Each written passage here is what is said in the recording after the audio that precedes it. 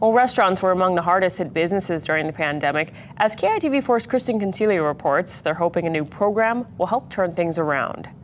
The city's getting ready to restart a program it hopes will give a boost to businesses. And restaurant operators say it's a small step toward economic recovery. Oahu restaurants are looking forward to outdoor dining again, and the city hopes that will happen by the end of August. Even just a few more seats outside gives the restaurant so much of a boost. Outdoor dining became popular on Oahu during the height of the pandemic and helped struggling restaurants make ends meet. But the program ended once the city's emergency order expired in March. Climbing out of the hole is, is difficult and it's um, slow going forward, but it's getting better.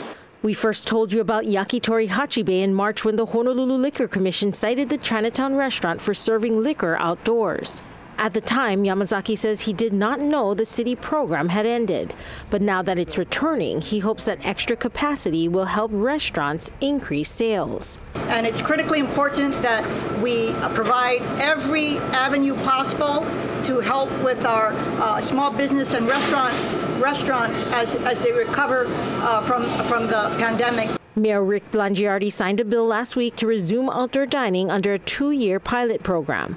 We also hope that it's really going to help our restaurants because more than anything, they were really hammered during COVID. The city's Department of Transportation Services will be issuing permits for outdoor dining.